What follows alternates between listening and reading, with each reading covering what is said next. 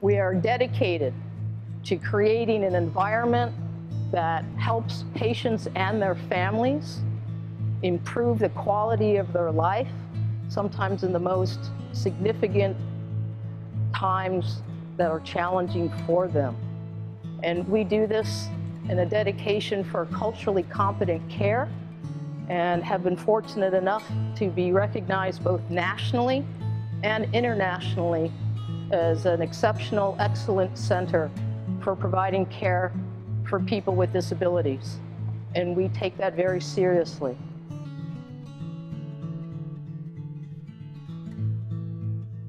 Many of us have known for a long time, and people in generations before us, about the power of the arts, if you will, whether it's music or visual arts, as part of the healing process.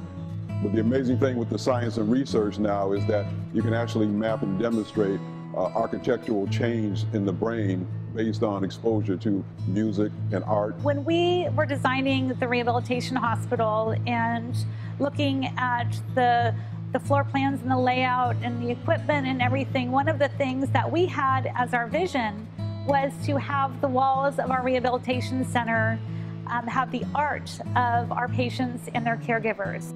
And yet it's one of the most healing places that most of our patients come to and find peace and find a way to heal inside and outside.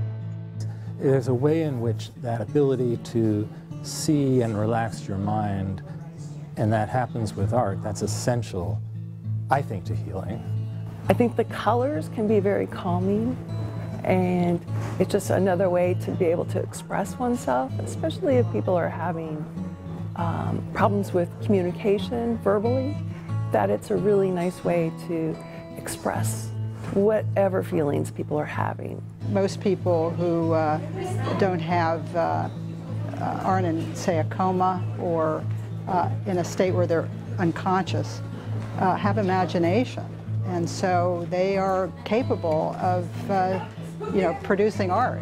Almost to a person, they said, I'm not artistic or I'm not creative.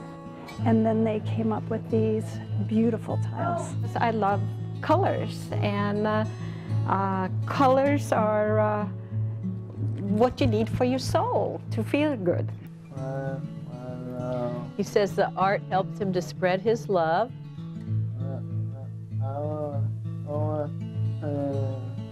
so everyone can see it and feel his love.